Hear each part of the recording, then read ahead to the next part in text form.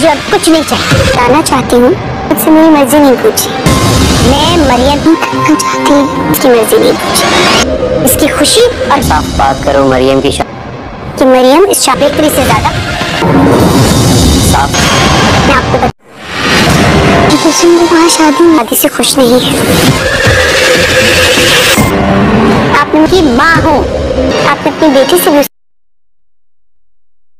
एक बात तो रही होती मेरा बात अपने सास है कि हम लोग तो सिर्फ़ अपनी माँ की वजह से शादी कर लेते हैं, लेकिन उनको ये तक पता नहीं होता कि उनकी बेटियाँ शादी के लिए राज़ी नहीं है। वही बात करके वहाँ से चली जाती है, दूसरी तरफ़ मरियम कॉल करती है अपने बॉयफ्रेंड को कहता है कि हम भाग के भी शादी कर सकते हैं, लेकिन वो बात बात में एक ही बात कहती है कि नहीं, मैं अपने घर वालों का सनीचा नहीं कर सकती।